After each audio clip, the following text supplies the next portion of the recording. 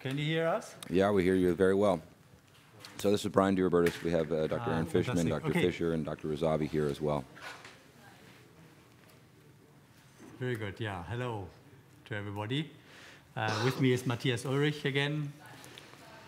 Hello. And yeah, sh- can we start? Shall we start? or- Yeah, yeah. Let's let's see what you got for us today. Yeah, very good. Okay, yeah. Yeah, a relatively complex case, we think, and maybe Matthias, you introduce the Yeah. case.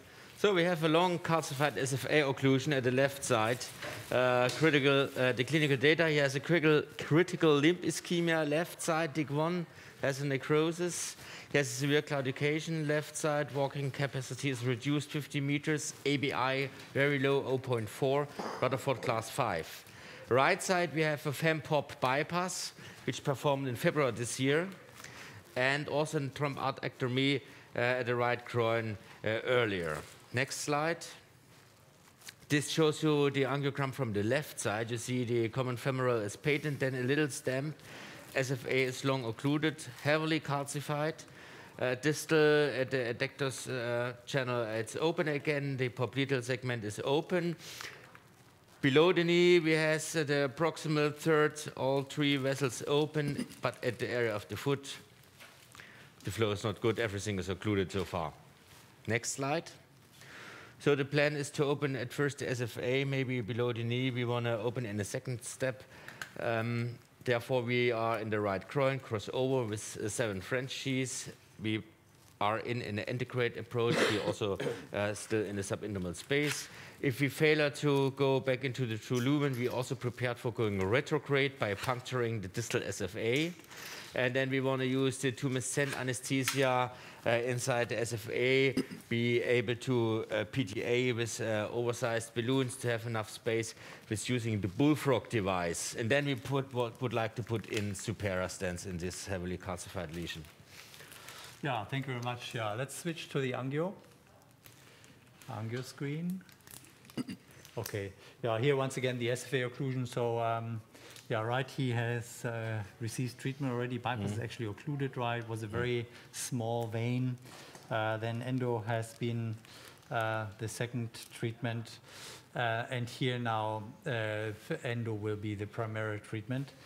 Um, so you can see proximally relatively calcified, uh, distally even more calcified here, as you can see.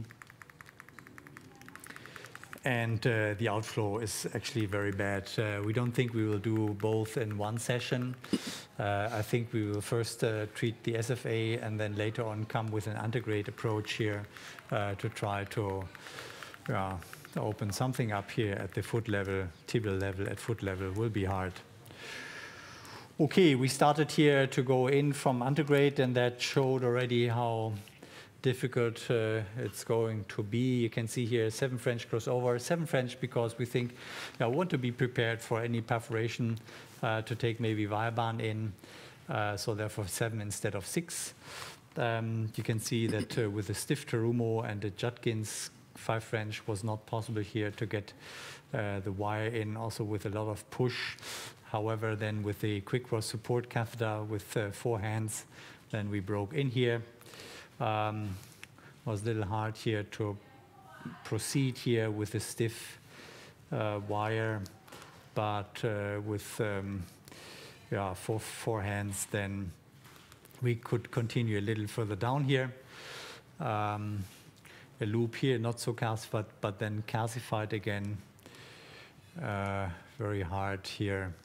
And we broke down here to the area where the artery is open again here at that calcium. Yeah, impossible to re-enter here. Um, that's where we stuck just now.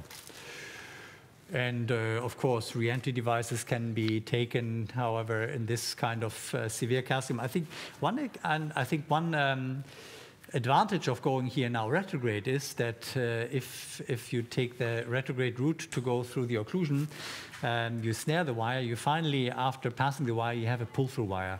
And I think this pull-through wire helps for uh, all other further steps with ballooning, potentially the tumescence with the bullfrog, um, also for, for stenting later on. Uh, the stability of the pull-through wire is uh, just very special. And, and therefore, uh, this is, for us now clearly a, a retrograde approach case. Very nice. Okay, I, I, I, agree but, that uh, before having, we go, having both ends of that wire really helps you track the device uh, over these uh, very, very calcified lesions. Yeah. Can you turn a little louder for me? Um, yeah, before we um, go in from retrograde, we actually prepare a little bit from antegrade already. Merken Sie was im Oberschenkel? Wir haben nichts. Okay. Andre, in what Four cases would you use a reentry device rather than going retrograde? I don't see you using them too often. No. Yeah, well, rare. We use them, for example, for problematic common femoral arteries. For example, after surgery, when you have a flush occlusion, impossible to get into the um, occlusion from, from antegrade. Then, for example, we go from retrograde and take the reentry device to poke back into the common femoral. Things like this. Or, yeah, occasionally for, for very difficult lesions or to puncture uh, uh, into a balloon, balloon coming from retrograde, these kind of tricks. Um, so I give here a little bit of local anesthesia into the skin, and this is here now a um, nine centimeter long um, needle going down. Seven is usually a little bit too short. You also actually want to come or, or approach the artery a little bit rather in a shallow way find maybe here a, a, a, a, spot where it's not too calcified. That could be a good spot here. Huh? Mm. So give some local, but to check, maybe we go um, left oblique and see. Okay, so we are very close to the calcium, um, but of course for puncturing we have to go back. And um, yeah, as I said, usually, uh, so currently our standard wire for SFAs is actually the Command 18, but for this approach, it's rather still the, the V18 because the V18 has a little bit more stiffer body, and uh, this is what we need here for this case here. Okay. Andre, can you tell us a little bit about your decision process and where to puncture the distal SFA versus, let's say, the popliteal or something else that's patent? Yeah, popliteal to, uh, with a necessity to turn the patient on the belly, never. So if uh, we still have enough place here to come from retrograde uh, via the distal SFA, it's always the distal SFA. This is the typical, I mean, uh, yeah, SFA occlusions going down to the adductor canal. Everything which uh, is occluded further down, we actually puncture from, from tibia. We puncture tibial arteries. Yeah, now you can see, uh, of course, very hard here, that uh, uh, cap of the occlusion also from retrograde. I try to already here somehow push the wire inside, but obviously not possible. Um, potentially, this is not possible to do it with a wire plus support catheter only. Um, however, and we may need a sheath here from retrograde for French, but uh, let's see. We'll give it a try here with a support catheter tracking over an 018 wire. Is that, is that your Uh, standard approach? someone- Begin with a, uh, uh, just a puncture in? a wire and then go Yeah. to the uh, support calf bareback and then at what point you, uh, at some point you're going to transition to a sheath if this doesn't work. How often do you tend to go to a sheath for this approach? Yeah, yeah. Yeah, warte mal ganz kurz. Yes, so usually we start with a support catheter only, but I mean, if it's extremely calcified, we um, decide to directly go to a four-French sheath. Uh, here, this is, I would say, borderline case. So maybe, ah, this is the collateral. I try to uh, connect 250T, warte mal ganz kurz. Here. Okay, so I, I push the, ah, okay. Ah, okay. Uh, I push the catheter. Can you try to push the catheter a little further down in? However, I don't think we'll have the support. Can you? Yeah. Oh yeah, okay. Once it's looped, perfect. Moment, warte, warte, ich brauche noch trocken. Ja, das. uh, here you really need four hands. Jetzt nochmal schieben. Just a moment. Good? Uh, Yeah, okay. I- I- I Fantastic. Yeah, so you take loop. out, although loop is probably, or wire is quite destroyed. Mm. Okay, and uh, it looks like as if we broke into the segment of the artery which we have ballooned already. Um, uh, now we need to snare the wire, but I think this wire is too destroyed Yeah. to snare it, and we'll change to an 014 anyway for our bullfrog device.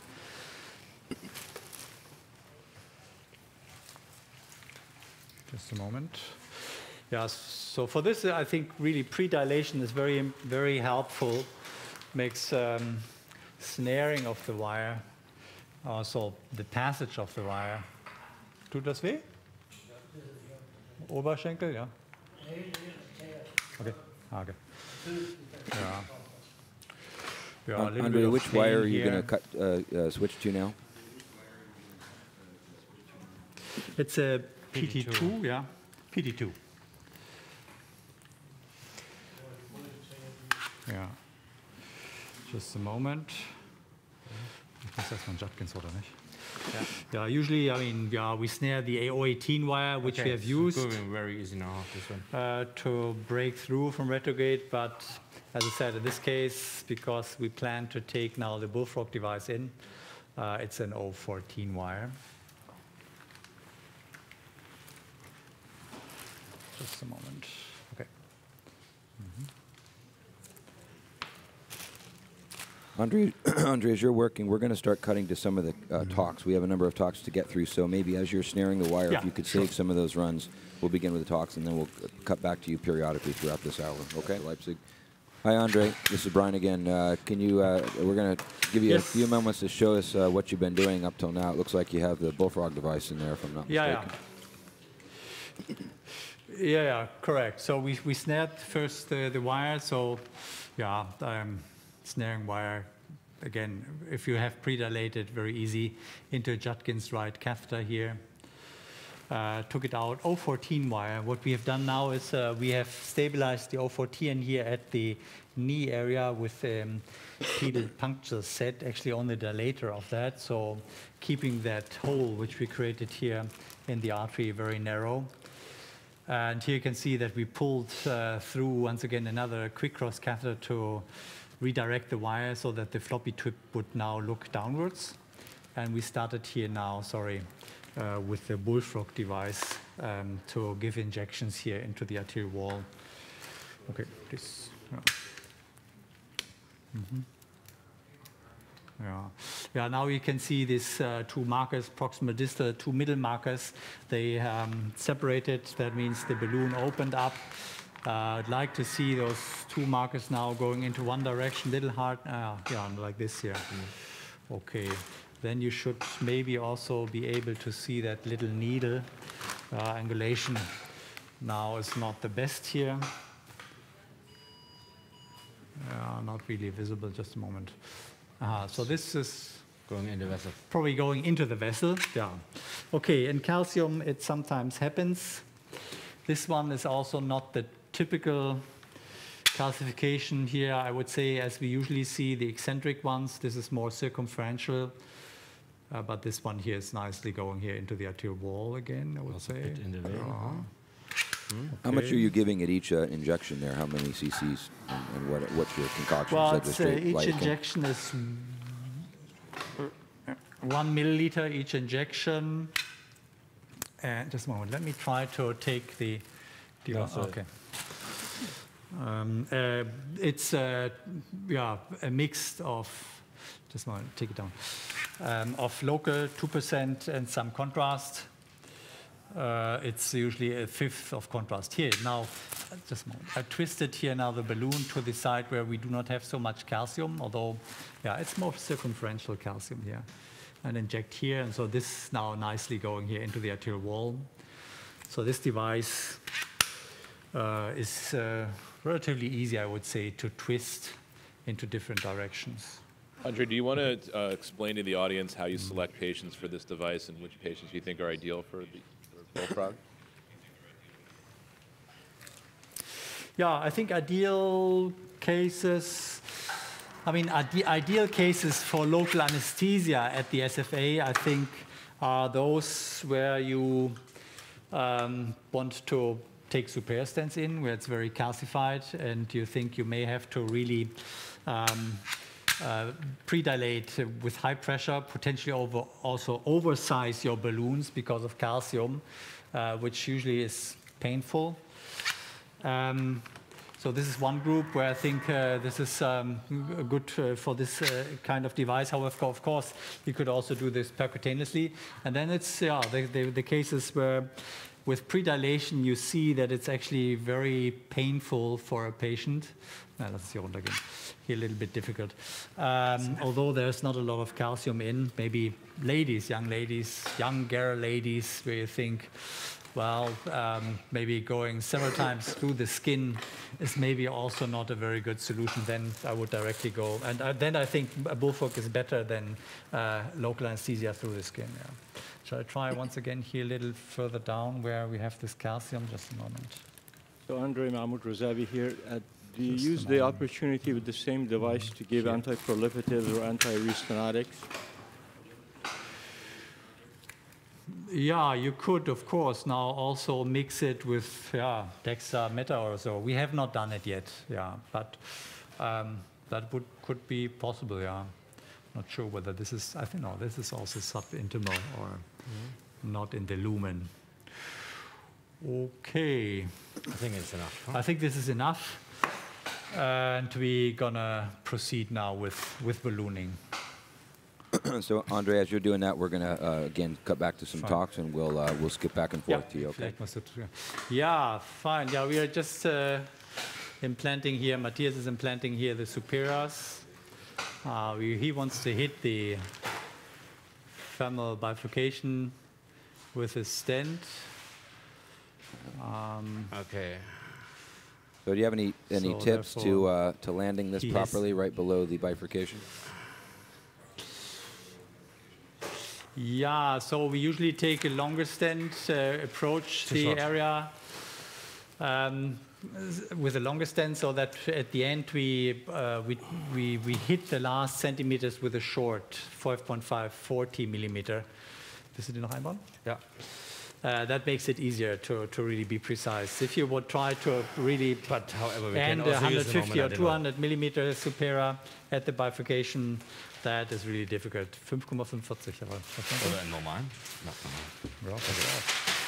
Ja. Although I'm not really convinced whether it's a good idea. What do you think? Is it maybe funnel-like the the um, origin of the SFA? Shall we have a look?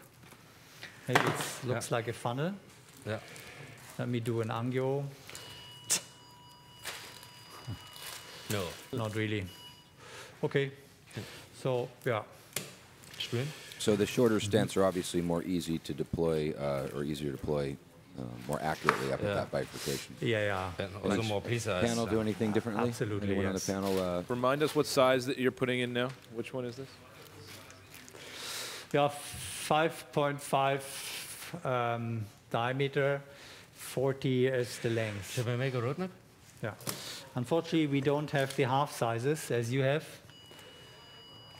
Oops, noch mal Mal ganz, ganz ruhig liegen, liegen. nicht bewegen. Just a moment. So for the audience here, if you uh, want to land it like these guys are going to do, of course these guys are experts. Uh, you don't want to oversize your uh, supera too much because that would lengthen uh, the device. Or you want to pre-dilate, uh, obviously, the vessel to size, so you'd be able to land it uh, nicely. So ein bisschen durch den Packen. ne? So, brauchst du eine trockene? Hab ich. Yeah, no, for the audience, um, absolutely. You know, vessel preparation, you have to really be aggressive. Um, or the Supera, I mean, it's very good for, and I've seen it happen. Uh, you think you're landing the SFA and ends up in the external iliac uh, for poor vessel prep. So that can't be emphasized enough, which it looks like they clearly did so. If you look at the struts on the stent itself, they clearly did a good job with that. Kannst du noch ein bisschen ziehen. Ja, ja. Okay. So the stent is three times longer inside the delivery system. If you see it, uh, the proximal end is coming down. I have to pull a little bit. Okay. Okay. This looks quite okay. Ah, very good. Perfect. Uh, Okay, let's have a look. This is why these guys We may are an show you before It's that, hard to uh, do. Well, um, what we have done. So we have pre-dilated the whole lesion with a 640 Pacific, but uh, 640 did not fully open everywhere. You can see here, very hard to open here. That was the um, end of the occlusion. At 18 atmospheres, finally, eventually the balloon opened up here. Um, further up here, seeing this balloon, it still has some kind of waist. So if uh, 6 by with 25 atmospheres doesn't fully open, uh, don't implant, go, don't go directly for 5.5 Supera implantation. It will fail. This is after that to rule out any perforation. Then we continued here with a 7 millimeter um, conquest balloon. So this is absolutely non-compliant. Uh, by this, the risk of perforating is, I think, clearly much lower than using here a semi-compliant 7 millimeter balloon. And we had the impression that, yeah, with 40 atmospheres here, that uh, lesion would open nicely, although there's still some recoil. I think this recoil can be a problem for, for Supera. And thereafter, uh, again, we ruled out here a perforation. Andre, can you tell us why you used a short, a short balloon and as opposed to a longer balloon with uh, less inflation? Yeah. Um, so a, a longer balloon can, I mean, easily show some kind of um, dog bone formation. It opens fully up, especially if it's a semi-compliant character uh, where the artery is not that calcified, but the waist remains where it's so much calcium. So really to crack calcium, I think you should take the shortest balloons uh, you have. So 40 uh, is already borderline actually. So if we would have had a real problem here, very focal, definitely we would have uh, gone in with a 20 millimeter long balloon. But as you can see, 5.5 Supera, potentially 6 outer would also have worked. Um, works nicely here. And then, as you have seen just now, the implantation of the last one by Matthias. And let's have a, have a look. How it looks like.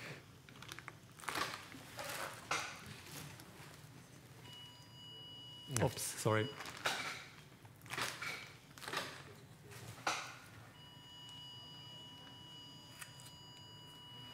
Yeah, looks good. Some contrast beside this stent proximally. But Actually, in the beginning, some- yeah, our wire went wrong. I think this is not overstretching the artery, but uh, that wire passage. Oops, ist nicht so. Andre, can you tell us how you manage your distal uh, access site? Oh, this is only, I mean, um, 018 compatible catheter, which is inside here. So just press with your finger for two minutes or so, or five minutes. Um, if we would have had a four French sheath in here, uh, we would uh, take a blood pressure cuff from outside probably, or press by hand. But check later on by angio whether everything is okay. Here, of course, I mean, there's still quite some disease at that area where we have punctured. So nothing wrong with taking the wire down, further down, and take it maybe drug-coated balloon here to, to smoothen these uh, remaining stenosis here. Okay, but I think we are quite happy with this here. That looks very nice. How about your It choice of looks stent sizes? What's what's your your uh, most Yeah. commonly used stent size? Yeah, unfortunately 5.5. we don't have 6.0. Um, but uh, well, we try to, to, to take big stents in. So, however, of course, this always, always depends on um, how uh, predilation works. In this case, uh, we, we clearly saw that uh, we cannot upsize to maybe a seven semi-compliant balloon to crack everything. Uh, so therefore, we thought 5.5 is okay. And also, I mean, of course, we size. Um, um, looking at the distal reference vessel, I think if you take one millimeter bigger in proximal, that may not really help you uh, with uh, with the result. Yeah, but I think it's very good to have half sizes. Very nice. Okay. Comments from the panel? Nice case. Yeah. So, w- when are you going to address that distal disease? You said this patient has a uh, toe ulcer or gangrene of the toe. Yeah, yeah. Um, he has gangrene. So probably the next days, we're gonna go antegrade uh, left downwards and try to open up some of the tibial arteries or foot arteries. But it looks very difficult. Yeah. And, and as you were uh, prepping and dilating Okay, with the so- uh, balloon, does, did he feel any uh, discomfort? Did the patient uh, feel any of that, or did you do a pretty good job with that bullfrog and the lidocaine? he he felt absolutely nothing. So that was really quite helpful to do here, the local anesthesia. Uh, this patient may not have been so sensitive as others, but uh, you all know these patients where opening a four millimeter balloon is already um, dramatic and uh, it helps so much here to do this local anesthesia. It's really very, very helpful. So there's no bleeding now because the, the sheath or the dilator of the pedal excess sheath is still inside. So as I said, usually we do not block from out from, from inside for hemostasis. It's only really if we if we have to treat that area anyway. Okay. So I took now that little sheath out. Yeah. Okay, and press here a little bit, maybe undersized, four millimeter. Yeah, fine. And what are you using here? This is a DCB? So, Done. well, this is now for pre-dilation, the four millimeter, um, but uh, now we're gonna use a, a, a DCB, correct? Yeah, let's take a lumin, uh, um, uh, yeah, a, what shall we take?